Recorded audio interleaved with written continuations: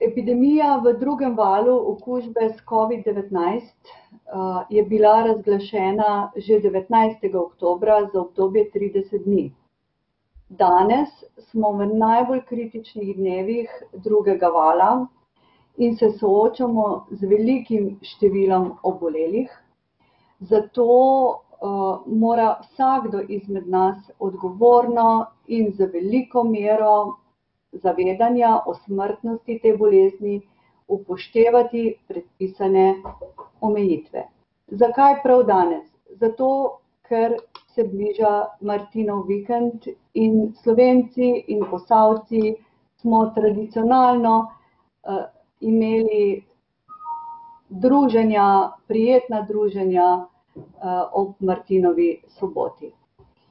Vendar danes so intenzivne sobe bolnišnic polne življenjsko ogroženih pacientov, za katere si njihovi svojci želijo preživetja in ozdravitve.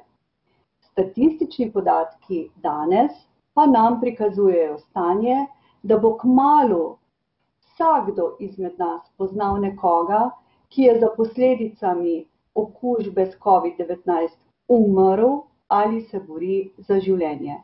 V tem je razlika med prvim valom, ko smo Slovenci in Posavci in Sevničani odlično preživeli epidemijo. Vseeno pa nas navdaja upanje, da cepivo prihaja, vendar je do takrat potrebno zdržati, potrebno je vložiti popolnoma vse napore v to, da se okužba z relativno enostavnimi ukrepi in vsakdanjo rutino, torej s tem življenjskim spremenjenim slogom tudi zameji. Vemo, da smo življenjsko ogroženi odrasli s kroničnimi boleznimi, starejši in drugače imunsko oslabljeni posamezniki, ki skušamo v najvišji meri opolnomočiti znanjem in tudi zaščititi. In tole naj bo danes tudi kamenček k tej zaščiti. Upam, dragi sodržavljani, da ste se v veliki meri sebe in vaše bližnje cepili proti gripi. Dejstvo je in lažje nam je, da virus v sedanji obliki še ne ubija naših najmanjših, otrok in mladostnikov. Izkušnje nas učijo, da bo virus med nami ostal, zato polagamo res upe v znanost, ki je že v preteklosti z iznajdbami cepiv in zdravil ohranila človeštvo. V občini Sevnica se v tekočem tednu soočamo z velikim porastom covid-devetnajst pozitivnih pacientov. V tednu od devetega do dvanajstega, torej do danes, smo v covid ambulanti pregledali in vzeli, pregledali zdravstveno in tudi vzeli nosno-žrelni bris sto enaintridesetim pacientom. Sedemintrideset pacientov, to je skoraj trideset procent, je bilo covid pozitivnih. V teh številkah ni obolelih oziroma vzetih brisov ter obolelih za covid-devetnajst iz treh socialnovarstvenih zavodov v občini, torej tukaj niso zraven všteti Dom upokojencev Impolca, Trubarjev dom, Loka pri Zidanem Mostu, ker veste, da je hudo stanje, in pa Doma upokojencev Sevnica. Tukaj so okuženi in hudo oboleli pacienti. Tam je smrtnost še vedno previsoka. Glede na stalno bivališče covid pozitivnih pacientov ugotavljamo, da imamo v občini Sevnica več žarišč v primestnem okolju, torej na podeželju, bi rekli, a ne. Po različnih krajevnih skupnostih. Skoraj vsaka krajevna skupnost, enajst jih ima, imamo covid-devetnajst pozitivne občane. To pomeni, da beležimo nova žarišča. večina pacijentov, ki so COVID pozitivna iz teh krajevnih skupnosti, nam povedo anamnestično, da vir okužbe ni prenos med družinskimi člani, ampak navaja nezaščiteno in nekontrolirano druženje v privatnih prostorih. Torej, to so kleti, zidanice, praznovanje rojstnimi dnevi s prijatelji, nezaščitena druženja s sodelavci zunaj delovnih prostorov. Danes moramo upoštevati spremembo odloka za preprečevanje širjenja koronavirusa. Torej, prepovedana so zbiranja, razen če so zbrani člani družine ali člani skupnega gospodinjstva. V Zdravstveni dom Sevnica prihajate na naročene zdravstvene preglede, pacienti iz drugih občin tudi vedno z vabilom na zdravstveni pregled. Vstop v zdravstveno ustanovo je po protokolu od marca naprej z epidemiološkim nadzorom, vsi smo dolžni izpolniti in podpisati epidemiološko anketo. V kolikor se med zdravstveno obravnavo zdravnik odkrije lažne navedbe na epidemiološkem listu, je zdravnik dolžen pacienta prijaviti zdravstvenemu inšpektoratu. Tudi to je eno dejstvo, da morebiti po želji, da bom pregledan, tudi zamolčim morebitne simptome. Še vedno velja, da tisti pacienti, ki imate znake okužbe, povišana telesna temperatura, slabo počutje, utrujenost, kašelj, težko dihanje, izcedek iz nosu in pa tudi driska, na primer, pokličete vašega izbranega osebnega zdravnika ali pa nadomestnega zdravnika. In če tega ni, kličite na nujno medicinsko pomoč dežurnega zdravnika. Zdravnik vam bo dal oziroma pooblaščeni zdravstveni delavec nadaljnje informacije o pregledu in testiranju na covid-devetnajst ter o vašem zdravljenju. Zelo pomembno. Če je to v času med dvajseto in sedmo uro zjutraj ter ob sobotah in nedeljah, to velja pravzaprav za celo Posavje in državo, takrat kličite nujno medicinsko pomoč in dežurnega zdravnika. Ne pozabiti, da kadar pa se počutite ogroženo, da to pomeni, da čutite, da ste življenjsko ogroženi, vi ali vaši bližnji ali pač pomembni, katere vidite, kličite številko sto sto dvanajst. Ne želimo, da bi bila nujna stanja spregledana zaradi te bolezni ali da bi bila dostopnost nam, državljanom, okrnjena. Posledice takšne, takšnih zadrževanj, da pač ne kličemo, ne, ne upamo, ne vemo, so velikokrat tudi nepopravljive, življenjsko nepopravljive. V občini Sevnica, da se vrnemo spet nazaj, je s strani same občine vsa, so vsa gospodinjstva prejela grajske novice, kjer so navedena priporočila, pisna priporočila za preprečevanje okužb s covid-devetnajst ter nujne telefonske številke.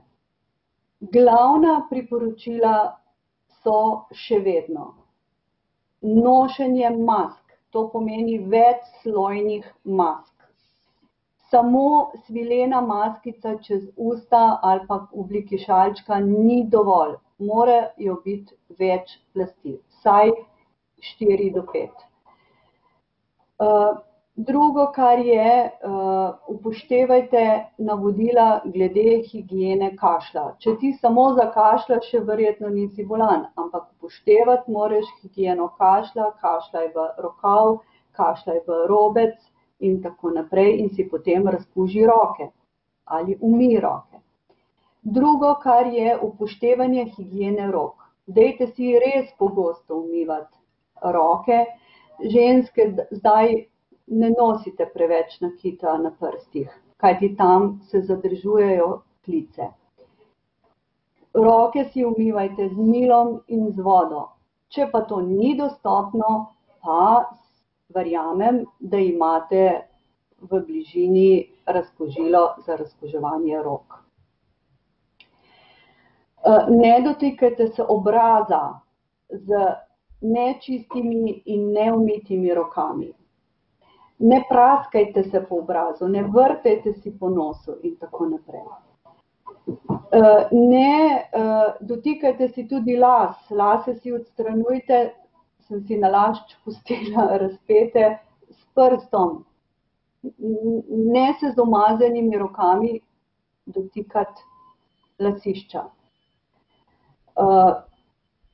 Zelo pomembno je, da ne delite svojih osebnih stvari z drugimi, tudi ne z družinskimi člani. upoštevajte distanco, razmišljaj vedno, ko prideš blizu, a sem že meter pa pol, ne. In res dajte zdaj v naslednjih dnevih, in tale vikend je zelo tudi, odločujoč, omejite socialne stike. sluznico zaščitite, očesno sluznico z očali. Pazite na higieno obuval, predvsem ko prihajate v svoj dom, se sezujte, se na enem mestu tudi preoblečite, slečite vrhnja oblačila, da ne prinašate morebiti okužb tudi preko oblačil.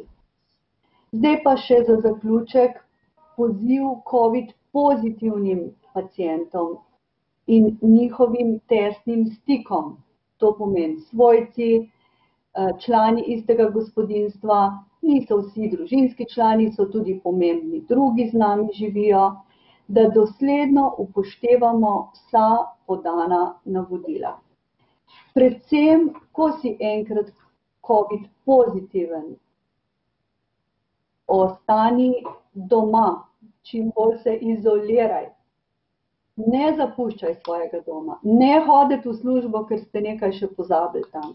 V trgovino, v druge ustanove.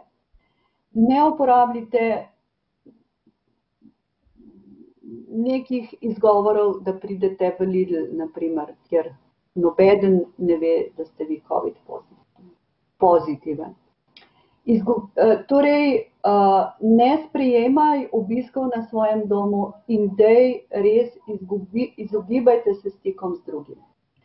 V času karantene dajte si nekaj prijetnega narediti, nekaj, kar prej niste doživeli, in spremljajte skrbno svoje zdravstveno stanje in o tem preko telefona, preko mailov obveščajte vašega izbranega zdravnika.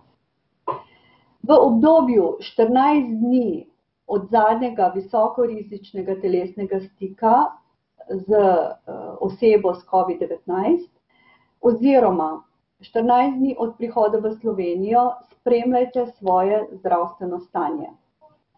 Če se v tem času pojavijo simptomi covid-devetnajst, torej slabo počutje, prehladni znaki, kašelj, vročina, težko dihanje, glavobol, bolečina v mišicah, izguba vonja in okusa, bolečine v žrelu, ostani doma, pokliči osebnega ali dežurnega zdravnika, kjer boste prejeli nadaljnja navodila.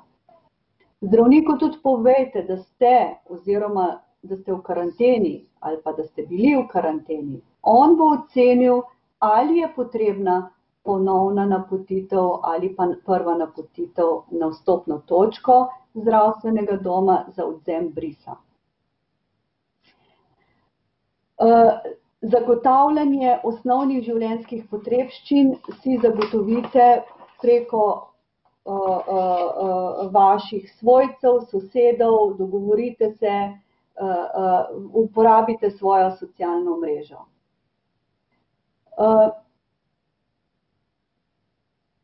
To so pravzaprav navodila, kako uporabiti, alternativne metode nakupovanja, in pa res dostava na varen način. kjer dostavljalec, ali je to član vaše širše družine, ožje, ne bo vstopil v vaš dom in bo postavil naprimer hrano, vrečko iz trgovine pred vaša vrata. Tako, za zaključek uh, pa bi povedala, da jutri, štirinajstega novembra, obeležujemo svetovni dan diabetesa, torej sladkorne bolezni. Žal so sladkorni bolniki, kot veste, med bolj ogroženimi skupinami, kronični nenalezljiva bolezen je to, pri kateri je ob okužbi covid-devetnajst pričakovati poslabšanje zdravstvenega stanja. Po oceni Diabetes Atlasa, to je en tak svetovni portal, naj bi na svetu sladkorno boleznijo živelo kar 463 milijonov odraslih v starosti od 20 do 79 let. Torej v globalnem merilu je to 9,3 prebivalstva, kar je zelo veliko, skoraj deset. In enako je tudi v Sloveniji in v Posavju. Ob obeležitvi svetovnega dneva diabetesa smo pred zdravstvenimi ustanovami prižgali modre, okrasne lučke, uh, kot za novo leto, samo da so modre, ne, uh, ki pa nas navdajajo z upanjem, da bomo tale covid čas uh, pravzaprav uh, preživeli čim bolj zdravi in pričakali cepiva in zdravila. Uh, z našimi bližnjimi. Hvala.